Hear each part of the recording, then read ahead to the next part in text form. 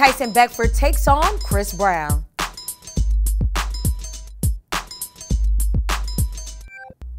Male supermodel Tyson Beckford still has beef with Chris Brown and wants the entire world to know.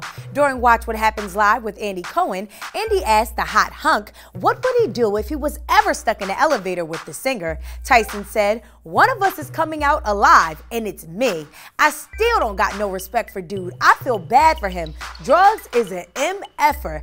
Now, somehow Beckford got wrapped up into his friend Karrueche Tran's drama with her ex-boyfriend Chris Brown, and Breezy threatened to beat him up after a selfie of Tran and Tyson hit the internet a few years back. Now, as far as what drugs Tyson believes Brown is on, we don't know, but he does believe that it is a strong addiction and he needs some serious saving. Let us know below in our comment section what do you guys think about Tyson accusing Chris Brown of being on hard drugs? Or hit us up on Twitter using the hashtag BET Breaks. For more, head over to BET.com and subscribe to BET Network's YouTube channel. I'm Jamila Mustafa at JMedia underscore and you are watching BET Breaks.